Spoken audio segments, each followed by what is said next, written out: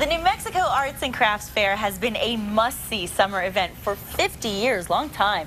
And joining me to tell us about the 50th anniversary celebration that's coming up next weekend is president of the New Mexico Arts and Crafts Fair, and that is the man next to me, Ron Behrmann. Thank you so much for joining nice us to be today. here. Great to have you and all of your beautiful art, especially, and we will get to that. But before we go any further, tell me a little bit. We're talking 50 years. How has the fair changed over the years? Well, the fair's changed fairly drastic. The first few years, it was actually a celebration of the 50th, uh, uh, 50th year of statehood for New Mexico. Right, of course. It was in uh, Old Town. Uh, Maria Martinez, uh, the governor, uh, various people were involved with the first for, first few, few years. Sure. And uh, they, uh, uh, up through 1969, it was in Old Town, and then Uh-huh. they moved to the state fairgrounds. It was an outdoor festival for uh, quite a few years, and then finally moved indoors. Yes. Well, now, of course, we are dealing with also a lot more art. And who are some of the arts and crafts people who are actually participating in the fair? Well, we've got a, a fairly nice selection this year. We've got, uh, for our 50th anniversary, we have uh, uh, five featured artists. Okay. We have Amado Peña, Carolyn Carpio, she's a potter. Uh, we have uh, Charlie Carrillo, he's a Santero. Uh, Robert Rivera, he's a gourd and multimedia uh, artist, and Okay. Harvey Buchalter is a sculptor, as well as 220 other artists. I love that. I love it. And it's, and it's such a, uh, a celebration of creativity. And we actually have some photos to show as we talk about a little bit more about the fair itself. We can tell me maybe a little bit about what we're looking at here. That's uh, a piece by Amado Peña. Okay. And uh, he's been uh, with the fair for probably 30, 30 years. Wow. So he's a staple. People come to expect his art, huh? Absolutely. and Uh, what that- is this? That's, a beautiful. piece. That's a piece by Carolyn Carpio. Uh, she's from uh, Isleta Pueblo, Oh, and wow. she does uh, uh, pottery as well as uh, bronzes. Beautiful. It's beautiful, and I, and I love, you know, it, speaks to New Mexico. It's not, you know what I mean. It, there's something about it, especially coming from somewhere else originally and moving here. I see things now, and I look at art, and I say that represents where I live. It really does. And that, this is beautiful. What is this that we're This looking is at? uh, Charlie Carrillo. He's uh, probably one of the more famous New Mexican santeros, Mm-hmm. and uh, he carves all of his own wood. Uh, Wow. He doesn't get uh, regular boards. He uses uh, does it the old way with an adze and uh, just uh, native pigments, everything. He's, he's an amazing artist. That's fantastic. I love I love the uniqueness and the quality of their work. And what is this? Uh, this is Harvey Buchalter. He's a uh, uh, renowned Southwest uh, sculptor. Okay. And uh, that's, uh, I'm trying to remember, I think that's a, uh, an alabaster piece. Oh wow. So interesting, and we're going to be seeing all all kinds of art, of course, at the fair. And I want to talk about some of what we're seeing right here in front of us. So tell me a little bit about this.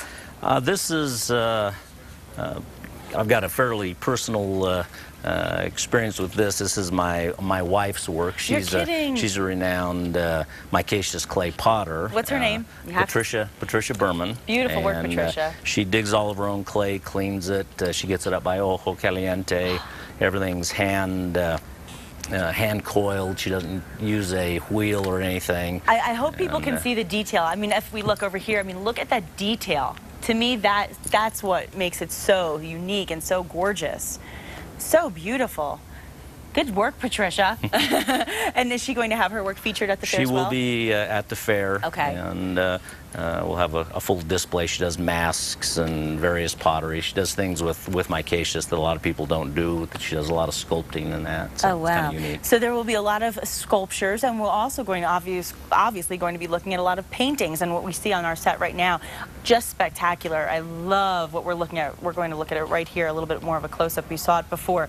Th- that just jumps out at me. That is gorgeous. It's actually a photograph of a place called The Wave, which is uh, uh, west of uh, Page, Arizona. oh really? And uh, it's uh, um, it's kind of a unique area. Uh, Ah. They only give 10 passes a day for photogra- photographers to go in and, and photograph the area, and uh, it's up in a wilderness area. Pretty That's spectacular. Yeah, that is truly spectacular. That is, and it's just, it almost looks three-dimensional.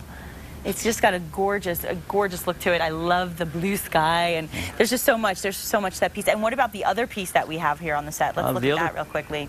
Yeah, the other piece that we've got there is uh, Margaret Bagshaw.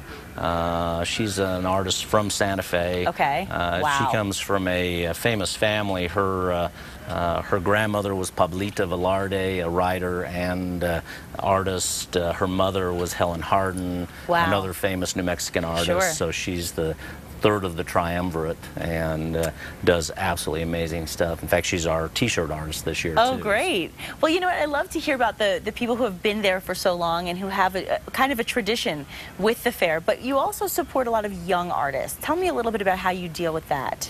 Well, we've got a, uh, a youth exhibit which uh, has over a thousand New Mexican kids from Ah, preschool through high school, and so that's a, a major display and uh, uh, So it's actually called the Youth. youth exhibit, Ah, and so we'll have a, a- close to a thousand pieces on display uh, in that same hall. We have a, uh, a display this year called the uh, Treasures in Time, which Mm. for our 50th we brought back 50 of our old time artists uh, that did at least 25 years ago. So they're bringing one old piece, one new piece.